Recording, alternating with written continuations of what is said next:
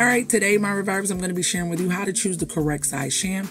I purchased these several months ago on Amazon, and they are from the company Home Brilliant, and they are a 24 by 24 inch Euro sham.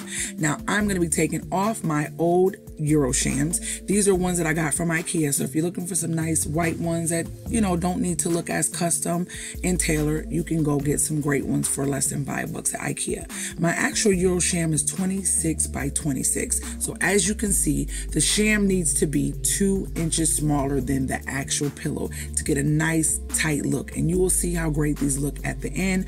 Right now, I'm just showing you the actual fabric and how well bonded and sewn these are together. I really love them and the reviews were amazing on Amazon, so I had to grab them. So I'm just gonna iron over these really quick with a light iron and go from there.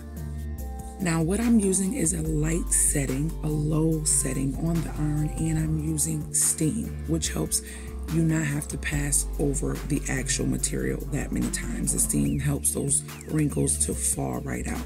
Next, I'm going to show you how to insert your pillow into the Eurosham. It's kind of difficult and I have kind of big hands. So you want to take it and fold it in half really tight. Hold it, hold it, hold it till you get it inside the actual sham and then you let it go and it will basically fill out the actual sham.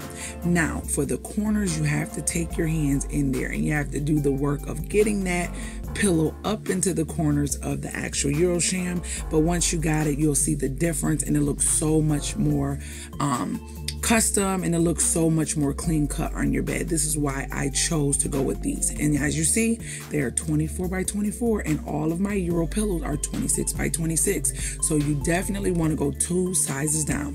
This is the pillow that I could not stand because you can technically see all of the decals with the white shams that I had on. You can see all of those decals on the sham and I would have to layer it in double fabric in order for them to look pure white. So I was so excited about these. Now guys, let me show you what it looks like on my bed. All right guys, mystery is solved. You know now, two inches smaller than your Euro pillow is the size Euro sham you're going to need. If this has helped you, make sure you thumbs up. Make sure you share this video. And if you are new to my channel, come and be a part of my Reviver family. It takes nothing to subscribe, hit that bell, make sure you get notifications of my new videos. And guess what, guys? I will see you guys in the next video. Later, Gators.